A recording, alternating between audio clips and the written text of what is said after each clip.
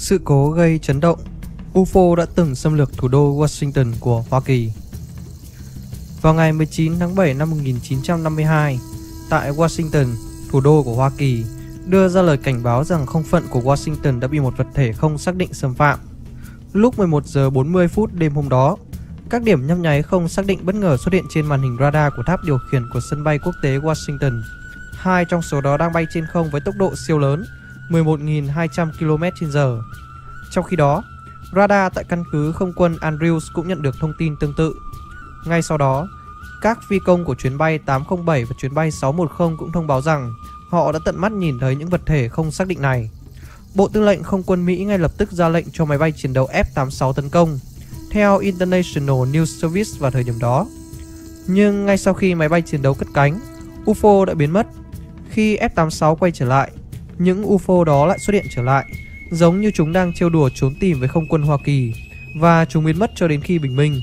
Trong hai ngày tiếp theo vào ngày 26 và ngày 27, các phi công và tiếp viên của hãng hàng không quốc gia bay vào không phận của Washington đã quan sát thấy một số ánh sáng lạ trên máy bay. Trong vòng vài phút, nhiều vật thể không xác định xuất hiện trở lại trên radar tại sân bay Washington và căn cứ không quân Andrews. Theo một cảnh sát trưởng của căn cứ Andrews vào thời điểm đó, những ánh sáng này không có quỹ đạo, không giống như thiên thạch và chúng thay đổi rất nhanh, điều mà người ta chưa từng thấy trước đây. Hàng loạt vật thể UFO không xác định xuất hiện ở Washington khiến nước Mỹ lo lắng. Để xoa dịu căng thẳng trong nước vào thời điểm đó, Truman đã đích thân gọi điện cho Ruppel, đại úy không quân Hoa Kỳ và là giám sát viên của dự án sách xanh của không quân, để hỏi chi tiết về vụ việc. Ruppel cho rằng những vật thể không xác định được radar hiển thị có thể là do sự thay đổi của nhiệt độ khí quyển. Điều này làm sai lệch tín hiệu radar và gửi thông tin khôi phục sai. Ngày 29 tháng 7, một số chuyên gia không quân Mỹ đã tổ chức một cuộc họp báo tại Lầu Năm Góc. Đây là một cuộc họp lớn nhất của Lầu Năm Góc kể từ Thế chiến thứ hai. Sam Fox, người được coi là một trong hai chuyên gia hàng đầu về UFO của không quân Mỹ vào thời điểm đó, nói rằng những vật thể không xác định được hiển thị bởi radar có thể là do một số hiện tượng trên không bị xác định sai, chẳng hạn như các ngôi sao hoặc thiên thạch, hoặc chúng có thể thay đổi nhiệt độ. Tuy nhiên, Cục Thời tiết Hoa Kỳ không đồng ý với lời giải thích của quân đội. Một quan chức cho biết, vào thời điểm đó, sự đảo ngược nhiệt độ lẽ ra phải hiển thị các đường thẳng ổn định trên radar chứ không phải các vật thể riêng lẻ như được hiển thị tại sân bay. Ngoài ra, vào thời điểm thủ đô Washington được cho là đã bị UFO xâm chiếm, Nhà Trắng đã náo loạn và chính Tổng thống Truman khi đó đã trực tiếp ra lệnh bắn hạ các UFO này. Không quân Mỹ đã khẩn cấp ra lệnh phóng máy bay chiến đấu lên không trung để phòng thủ, nhưng cuối cùng nó vẫn ở trên không. Mỹ là quốc gia có nhiều sự cố UFO nhất và tin tức về việc chứng kiến UFO lan truyền thường xuyên. Vào năm 2017, một thiếu tá không quân Hoa Kỳ đã nghỉ hưu nói rằng ông đã trực tiếp gặp một UFO và ông nói rằng UFO không phải từ không gian này. Sau khi tin tức được tiết lộ, nó đã ngay lập tức thu hút được sự quan tâm rộng rãi của công chúng. Vào tháng 12 năm đó, nhiều phương tiện truyền thông Mỹ tiết lộ rằng Bộ Quốc phòng Mỹ đã khởi động một chương trình bí mật từ nhiều năm trước để điều tra bí mật về UFO, cố gắng giải thích hàng nghìn sự kiện chưa được biết đến. New York Times cho biết Lầu Năm Góc bắt đầu nghiên cứu UFO từ năm 2007 và đặt tên dự án là chương trình nhận dạng mối đe dọa hàng không tiên tiến. Các đối tượng nghiên cứu bao gồm các vật thể không xác định được chứng kiến bởi các phi công quân sự Hoa Kỳ, các cuộc chạm trán với UFO. Tuy nhiên, đây không phải là lần đầu tiên chính phủ Hoa Kỳ điều tra về UFO.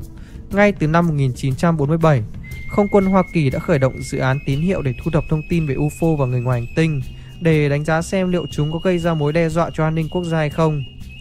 Từ lâu đã có báo cáo rằng Hoa Kỳ có mối quan hệ chặt chẽ và chưa được biết đến với người ngoài hành tinh và UFO.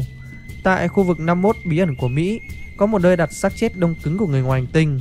Chỉ có Tổng thống Mỹ mới được vào khu vực cấm bí mật này. Khu vực 51 nằm trong sa mạc Nevada, cách Las Vegas khoảng 83 dặm. Sự cố Roswell gây chấn động thế giới đã biến khu vực 51 trở thành khu vực mà nước Mỹ che giấu bí mật của mình với người ngoài hành tinh. Vào đêm ngày 4 tháng 7 năm 1947, một vụ tai nạn UFO đã xảy ra gần căn cứ không quân Roswell ở New Mexico. Tại gần một trang trại cách Roswell 120 km về phía tây bắc, người ta tìm thấy tàn tích của một chiếc đĩa kim loại và một số thi thể kỳ lạ. Những xác chết rất gầy, chỉ dài từ 100 đến 130 cm và nặng chỉ 18 kg, không có tóc, đầu to, mắt to và miệng nhỏ, mặc đồng phục bó sát màu xám. Sau đó, quân đội Mỹ di chuyển đến khu vực tìm thấy xác máy bay và phong tỏa hiện trường. Vào ngày 9 tháng 7 năm 1947, tờ Roswell Daily Chronicle đã đưa tin này lên làm tiêu đề. Kể từ đó, khu vực 51 trở thành khu vực cấm bí ẩn được cả thế giới chú ý. Nhà khoa học hàng không vũ trụ người Mỹ Boy Bushman qua đời vào ngày 7 tháng 8 năm 2014 là một kỹ sư cao cấp đóng quân lâu năm tại khu vực 51 bí ẩn.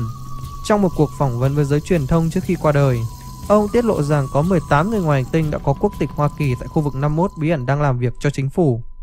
Bushman cho biết người ngoài hành tinh cao khoảng 4,5 đến 5 feet, tức là khoảng 130 đến 150 cm, với các ngón tay mảnh mai và bàn chân có màng. Ông cũng cho xem một số hình ảnh về người ngoài hành tinh. Bushman cho biết công việc của ông tại khu vực 51, nơi đã được đổi tên thành phòng thí nghiệm phân loại quốc gia, liên quan đến việc tái thiết kế kỹ thuật đảo ngược tối mật của công nghệ do người ngoài hành tinh cung cấp cho quân đội Hoa Kỳ. Các báo cáo về UFO và người ngoài hành tinh được cho là đã được các tổng thống kế nhiệm nhận được trong nhiệm kỳ của họ. Với một số tổng thống tuyên bố trước khi nhậm chức rằng họ sẽ công khai báo cáo. Tuy nhiên, khi họ trở thành tổng thống thì mọi chuyện vẫn là bí mật với công chúng.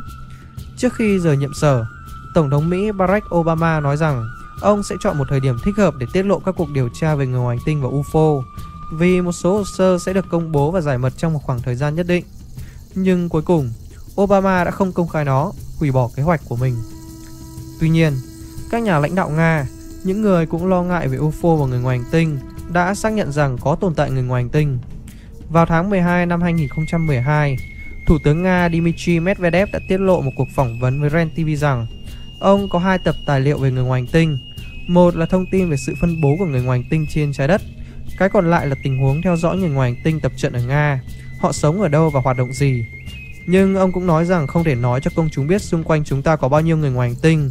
Điều đó sẽ khiến dân hoảng sợ. Người ngoài hành tinh đang sống xung quanh chúng ta. Thủ tướng Medvedev còn gây bất ngờ khi nói rằng mọi người có thể tìm thấy thông tin chi tiết về người ngoài hành tinh trong bộ phim Men in Black nổi tiếng trên toàn thế giới. Ngay sau khi cuộc trò chuyện của Medvedev được công bố, thư ký báo chí của ông đã bước ra và nói rằng đó là một cuộc trò chuyện kín, nhưng không nói rằng đó là một lời nói dối, và nhà lãnh đạo sau đó đã không phủ nhận những gì ông đã nói. Vậy các bạn có ý kiến sao về câu chuyện này? Hãy để lại bình luận bên dưới video nhé.